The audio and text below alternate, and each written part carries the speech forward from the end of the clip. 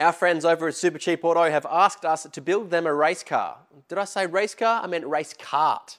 Today on the Skid Factory, we're going from big blocks and superchargers to no blocks and gravity.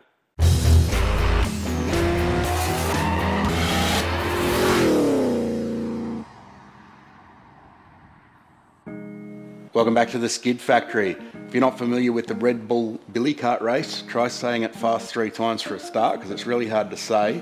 But it's actually just an annual Billy Cart race uh, in various cities around the world. And this year it is in Melbourne, in uh, I think it's in St Kilda or thereabouts.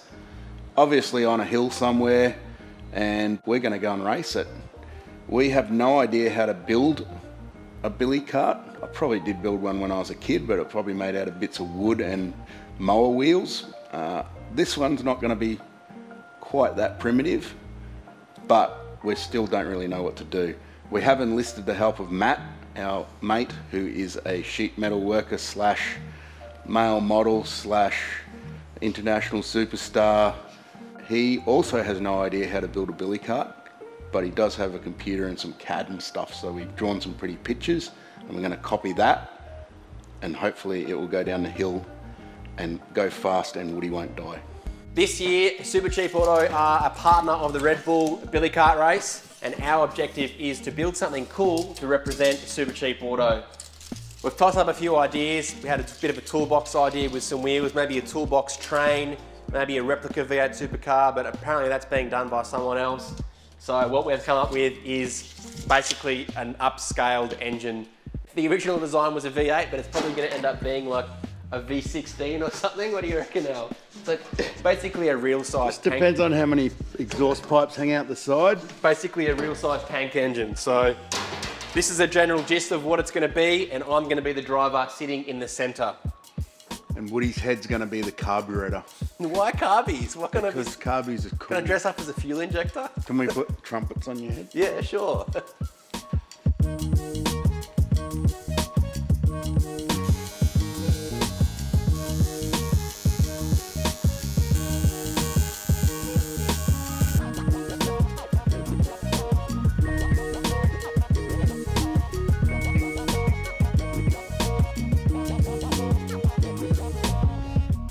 If you're familiar with the Red Bull Billy Cart race, you'll know most of the time competitors end up either crashing or breaking their carts after getting air over a jump. To avoid bending the chassis and smashing into a wall, we're using aluminium box which is 2mm thick to maximise the strength and also keep the weight down. The side panels are also 2mm thick that Matt has already bent into shape. Once the front and rear panels are cut out and cleaned up, we can tack weld the pieces together forming a complete structure which can be welded to our chassis.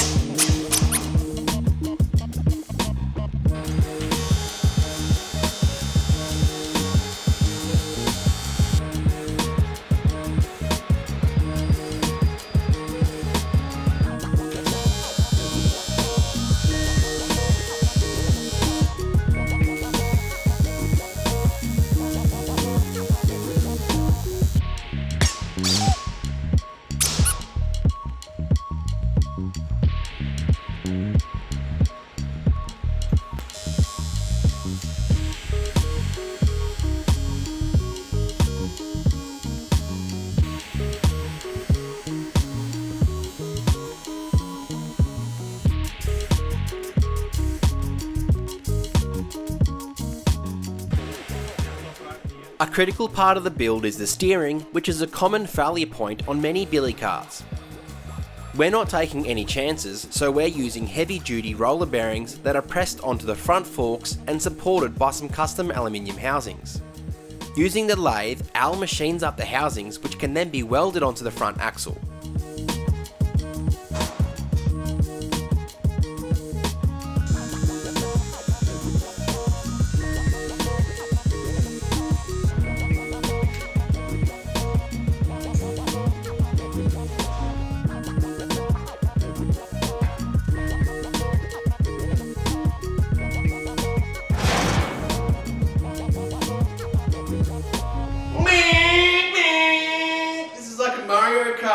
This is like a Mario Kart special stage vehicle. We're having a steering wheel? Thought you were supposed to be a carby. No, you steer it with your feet. What, what does a carby make? Backfiring noises and disappointment. Here's where we're up to with the billy cart build.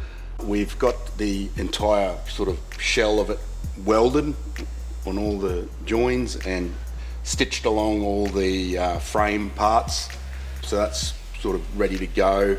I've started cutting lots of holes in it and, and dimple dieing them mainly just to, as weight saving and just some style points and maybe a bit of airflow for Woody when he's flying down the mountain.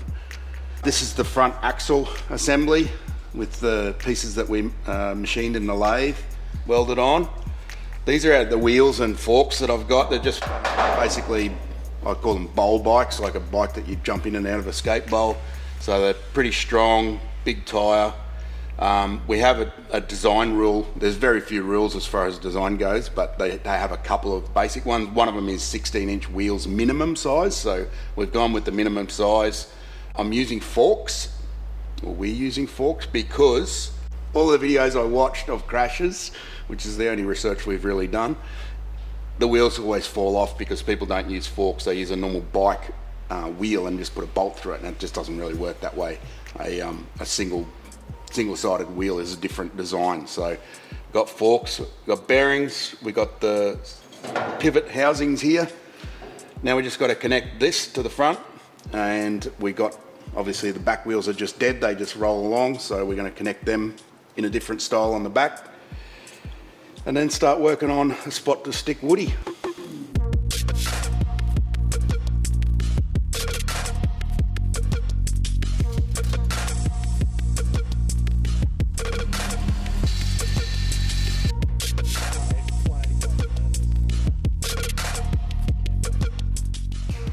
Is it going to be stanced out?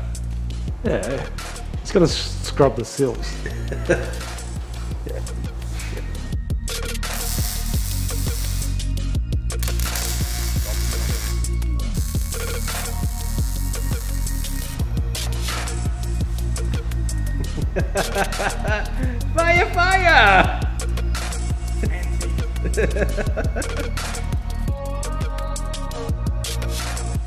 The rear wheels on the billy cart are going to be in a fixed forward position. The forks are welded to some steel, which is then bolted through the aluminium frame.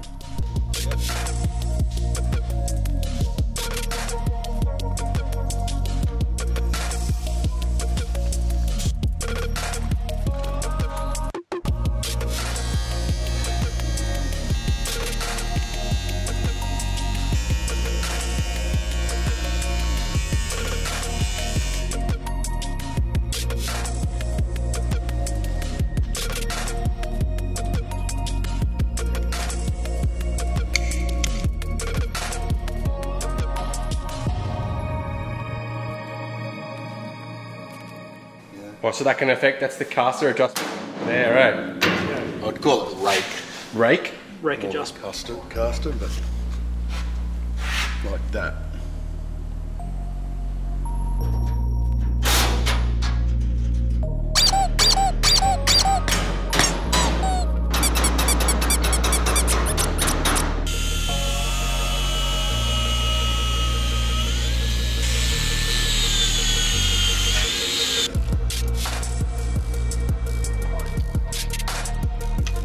Some expeditious arithmetic is used to calculate the correct length required for the steering arms. These are then bolted onto the forks, which will then be connected to a steering rack that's being mounted on the inside of the cart.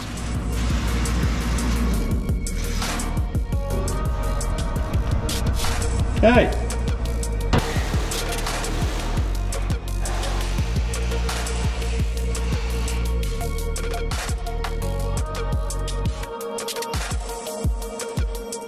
Rack goes out, rack goes in. Rack goes out, rack goes in. Rack goes out.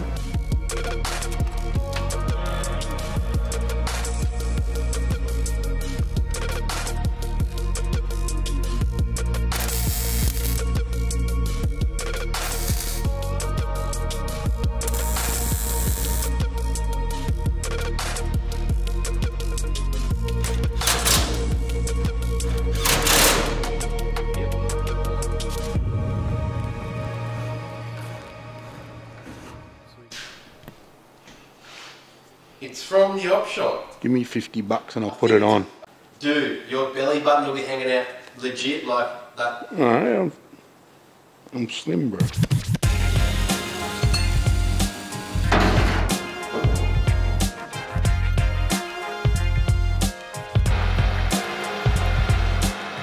Some aluminium bar is being used as our steering rack ends, which is tapped to accept an 8x1.25 thread. Some small heim joints acting as tie rod ends are then bolted onto the steering arms.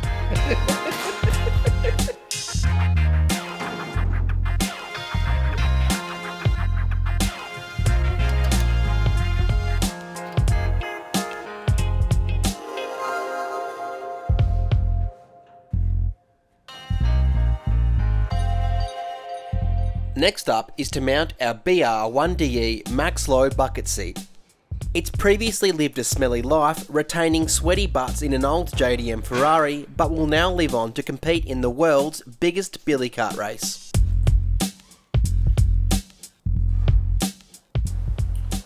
I'm worried about visibility though, that's all. Can't really. I can see your. I can see your knees from here. Can we cut this out here or not? Fine. You can't see a thing. See the steering rack? What are you talking about? Perfectly fine. What point of view. Can I cut a hole there so you look through? Yeah, cut a hole right here. Yeah, Is that going to weaken that though or not? probably.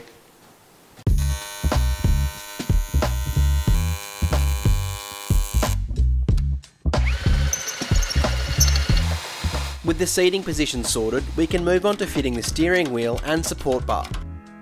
We had this old uni joint laying around, which was from a super old and super rare Nissan. It happened to have the correct spline for our go-kart rack, so it was upcycled and welded to our steering column.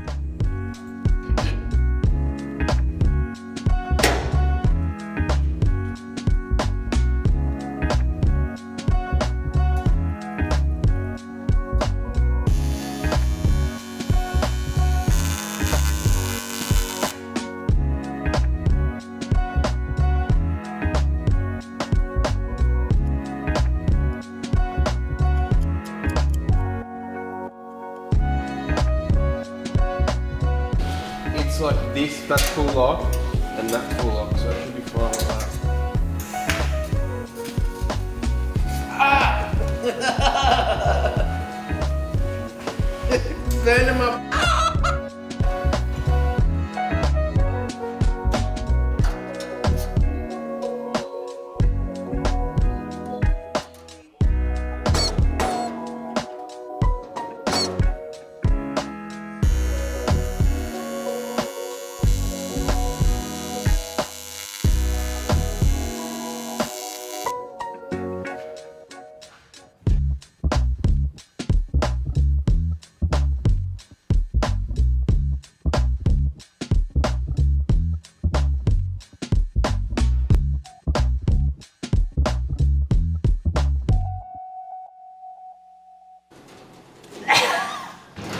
Too heavy. it's going to be like 400 kilos with you in it. What? Ba, da, da, da. We've got to jump it to test it that the wheels aren't going to flap in like everyone else's does. We'll raise it on the hoist and drop it from a height. It'll just drop you off from a height. Yeah, that won't work. You'll I'm have to be, saving my spine for the you'll race. have to be sitting in it because that extra 300 kilos is going to make a difference. Not that fat, bro. Come on. We have our Billy Cart Instagram ready. It's uh, looks like something but doesn't actually work. So that's uh, if you if you want to refer to that term Instagram ready, that's what it means. It's similar to SEMA ready, but uh, you're not at a car show. Uh, we've got steering that works, still has to be finalised. We've got our rack that is the finest of eBay. It has loosened itself up just in the time that it's been bolted to the car, so hopefully that makes it through the downhill run for Woody's sake. The seat is all mounted up. It's a pretty nice looking Burrito Romax that Woody pulled out of his MR2. Uh, it's haggard, it's full of ball stains and stuff, so it's probably going to be going on eBay afterwards for two to three thousand dollars if you're interested. We've got an OMP steering wheel on there that Woody pulled out of some other car that he bought. It's red with a line on it, so it's for a professional drifter steering wheel. Uh, it's all mounted with a lot of aluminium welded together. We do need to change this back suspension setup. Uh, it is a bit bouncy, and we'll probably just stand the forks up because that's probably the way they're meant to be anyway. Uh, the other reason is because it's getting a little bit tubby. We've got an 80 kilogram weight limit, and we just weighed it before, and it's at 64 kilograms as it is. And we've still got stuff that, we, that needs to go on the outside. Uh, so obviously the steel is probably the first place to start because it's the he- uh, much heavier than aluminium, and most of the aluminium is just sheet anyway. So each hole that I drill, whilst satisfying, doesn't really take much weight out of it. We've still got a bunch to do. We'll finish off the welding and other stuff on the steering, remount this back, these back wheels, uh, and we've also got to just finish it off aesthetically. We've got to make it look more like an engine, so there'll be pipes and valve covers and air filters and stuff like that. That'll be next episode, and also in next episode we will show you the actual race. Uh, it is in Lansdowne Street in Melbourne, so um, tune in for that one. We're going to be racing the Billy Cart at Lansdowne Street and Treasury Gardens in Melbourne, Victoria this Saturday, the 3rd of December. Gates open at 11 o'clock. It's going to be an awesome event. There's 59 other teams that are going to be racing down the street. There's jumps, kickers, there may be a half pipe. I don't know what's in store, but it's going to be awesome. If you can't make it to the event, make sure you tune in next episode to see us finish the cart off and race it. We actually haven't even come up with a name to this thing yet either, so comment below what you think we should name it. Thanks again to Supercheap Auto for enlisting us to build such an awesome machine. I'm excited to race it. I'm also very scared to race it, seeing as there is some jumps and I've already got a bad back, but we'll address that when it comes. Thanks for watching, and we'll see you guys next time, or, or we'll see you guys on track in Melbourne.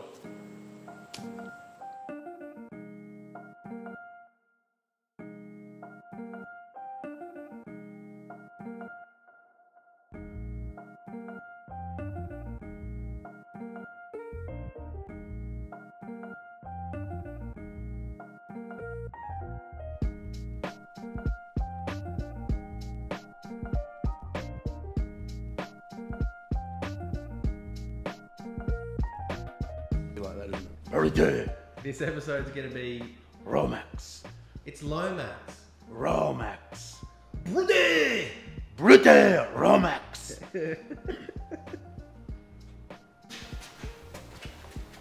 You look like Look out, Mitchy. Coming for you, bro. Mitchy. Bulking. Gonna make you clean my car. You look jacked, bro.